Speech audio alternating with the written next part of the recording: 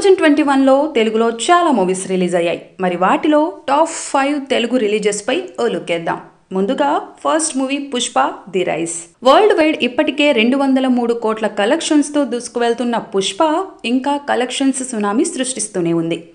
Icon star Allu Arjun creative director Sukumar కాంబోలో పక్కా mass commercial సినిమాగా రెండు వేల ఇరవై ఒకటి డిసెంబర్ పదిహేడున ప్రేక్షకుల ముందుకొచ్చిన పుష్ప సినిమాకు భారీ రెస్పాన్స్ వస్తోంది.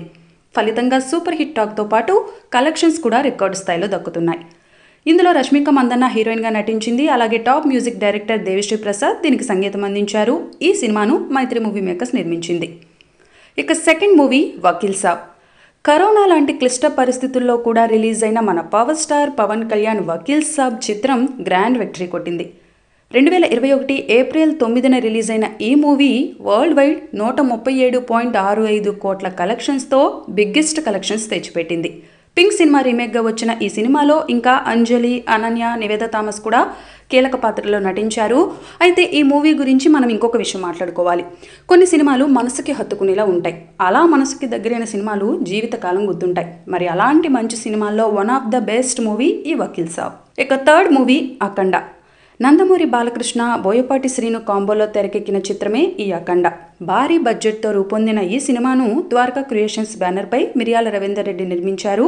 ఈ మూవీలో ప్రజ్ఞా జైస్వాల్ హీరోయిన్గా చేసింది అలాగే శ్రీకాంత్ నెగిటివ్ రోల్ చేశాడు. ఇక ఎస్ తమన్ బేభత్సమైన సంగీతం అందించారు. రెండు వేల ఇరవై ఒకటి డిసెంబర్ రెండున గ్రాండ్గా విడుదలై భారీ హిట్ని సొంతం చేసుకున్న ఈ మూవీ వరల్డ్ వైడ్ అరవై ఎనిమిది పాయింట్ ఆరు ఎనిమిది కోట్ల షేర్ అలాగే నూట ఇరవై పాయింట్ ఎనిమిది కోట్ల గ్రాస్ని రాబట్టింది. ఇక ఫోర్త్ మూవీ ఉప్పెన.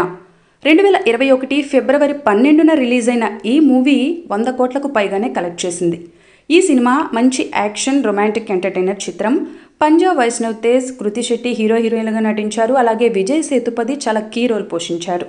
ఇక సుకుమార్ దగ్గర దర్శకత్వ శాఖలో పనిచేసిన బుచ్చిబాబు ఈ సినిమా ద్వారా దర్శకుడిగా పరిచయం అయ్యారు మైత్రి మూవీ మేకర్స్తో కలిసి సుకుమార్ ఈ ప్రాజెక్ట్ని నిర్మించారు. ఇక top music director Devi Sri Prasad సంగీతం సమకూర్చారు.